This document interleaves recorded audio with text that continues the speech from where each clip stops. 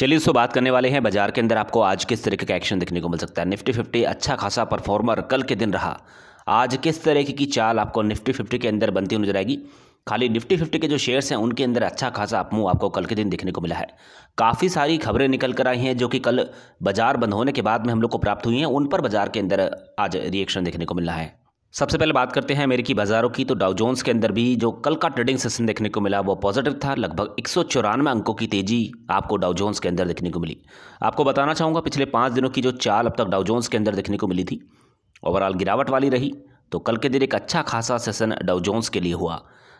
पिछले एक महीने की अगर बात करते हैं तो डाउजोन्स के अंदर उठापटक देखने को मिल रही थी। लगभग छत्तीस हज़ार चार सौ बत्तीस अंकों से भी ऊपर के लेवल आपको इसके अंदर देखने को मिले थे। और अप एंड डाउन का सिलसिला बना और गिरावट के साथ में ये हम लोग को दिखाई दिया था अब तक। लेकिन एक लास्ट जो ट्रेडिंग सेशन रहा है, इसके अंदर तेज़ी का माहौल बनता हुआ नज़र आया। तो एक उम्मीद लगाकर चल सकते हैं कि अमेरिकी बाज़ारों के अंदर तेज़ी देखने को मिले। तो अपने बाज़ारों के अंदर भी एक अच्छा खासा माहौल बनता हुआ नज़र आए। चलिए अब बात कर लेते हैं रियल टाइम इंडेक्स फ्यूचर की। तो ग्लोबली इस समय किस तरीके के संकेत दिखाई दे रहे हैं? निफ्टी फिफ्टी पॉजिटिव में है।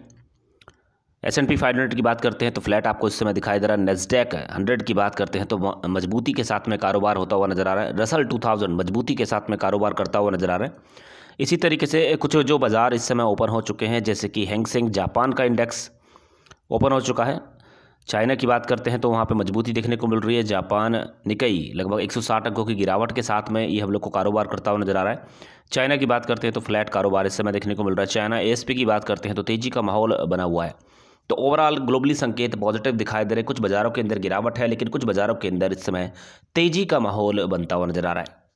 चलिए बात कर लेते हैं उन कंपनियों के बारे में जो कि आज फ्यूचर एंड ऑप्शंस के अंदर बैन देखने को मिल रही हैं। तो पहली कंपनी है एस्कॉट्स और दूसरी कंपनी है आइडिया ये दोनों ही कंपनियाँ आज फ्यूचर एंड ऑप्शंस के अंदर बैन देखने को मिल रही हैं।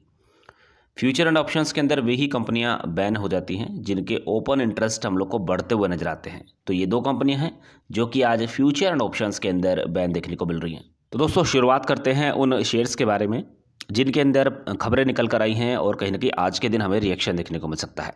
तो सबसे पहले हमारी कंपनी होने वाली है भारतीय एयरटेल। लगातार तेज़ी का माहौल भारतीय एयरटेल के अंदर बना हुआ है। और कल एक बड़ी खबर निकल कर आई मूडीज़ की तरफ़ से इसके अंदर एक बड़ा अनाउंसमेंट देखने को मिला। तो मूडीज़ एक रेटिंग एजेंसी है। यहाँ पे मैं आपको बताना चाहूँ कि मूडीज़ की तरफ़ से जो आउटलुक हमें इससे पहले स्टेबल देखने को मिल रहा था, अब उसे बदल कर पॉजिटिव कर दिया गया है। तो बड़ी हलचल भारतीय एयरटेल के अंदर अब तक देखने को मिली। और कहीं ना कहीं अगर आप लॉन्ग टर्म के हिसाब से इस कंपनी के अंदर होल्ड करते हैं तो आपको अच्छा खासा मुँह शेयर के अंदर ज़रूर देखने को मिलेगा। तो ये स्टॉक भी आज चर्चाओं में रहने वाला है, इस स्टॉक को भी आप अपने रडार पर रख सकते हैं।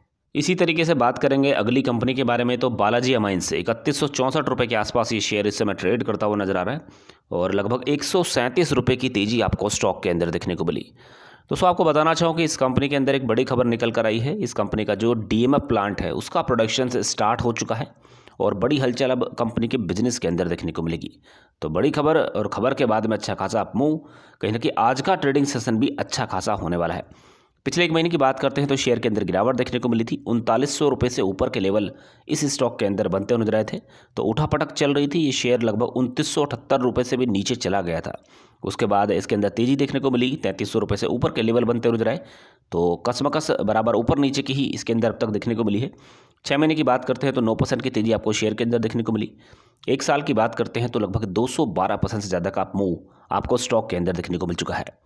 तो ये स्टॉक भी आज चर्चाओं में रहने वाला है, इस स्टॉक को भी आप अपने रडार पर रख सकते हैं। दोस्तों बात करने वाले हैं अगली कंपनी के बारे में तो एस लिमिटेड आपको बताना चाहूँ कि बिहार के अंदर इनका एक पावर प्लांट है और वहाँ पे काम रुका हुआ था। तो काम स्टार्ट हो चुका है इनका जो वर्क है सेकेंड यूनिट के अंदर, और ये जो यहाँ पे पावर प्लांट है लगभग 1320 मेगावाट का है। तो ओवरऑल जब प्रोडक्शन स्टार्ट होता हुआ नज़र आता है, काम के अंदर हम लोग को तेज़ी दिखने को मिलती है तो कहीं ना कहीं अच्छा खासा आपको आपको कंपनी के बिज़नेस के अंदर देखने को मिलता है। तो ये खबर निकल कर आई थी कल के दिन, जो कि बाज़ार बंद होने के बाद में मिली है। तो कहीं ना कहीं स्टॉक के अंदर आज के दिन एक रिएक्शन की उम्मीद करके चल सकते हैं। तो ये स्टॉक भी आज चर्चाओं में रहने वाला है, इस स्टॉक को भी आप अपने रडार पर रख सकते हैं। दोस्तों, अगर ये पूरी जानकारी आपको अच्छी लगी हो तो वीडियो लाइक ज़रूर कीजिएगा चैनल सब्सक्राइब कर रख लेना, ताकि नई वीडियो के नोटिफिकेशन सीधे आपके मोबाइल पर मिल सकें thank you so much for watching